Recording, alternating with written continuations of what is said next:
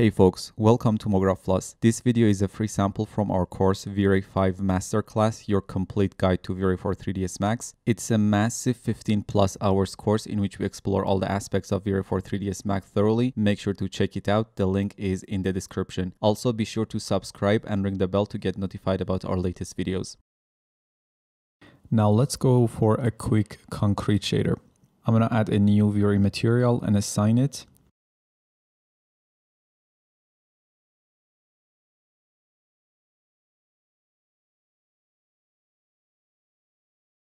use roughness instead of glossiness.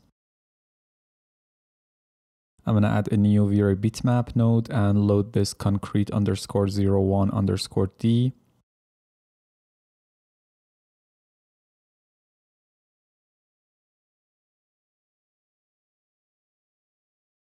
and use it as the diffuse map.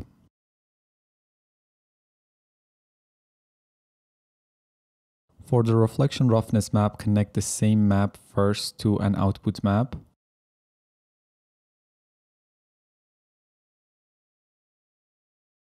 For the same reason that we inverted the Parquet roughness texture, we need to invert this map as well. And let's use it as the reflection roughness map.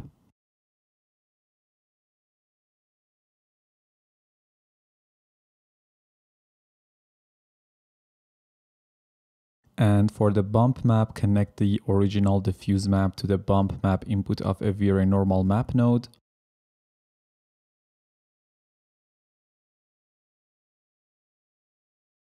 and set the bump amount to something like 0.3. And that's a simple concrete shader. I didn't use the noise map here for that overall unevenness or waviness. You can do that as well, but here the surface is rough and that waviness is generally visible on more, you know, reflective, sharper surfaces. And here is our final concrete render.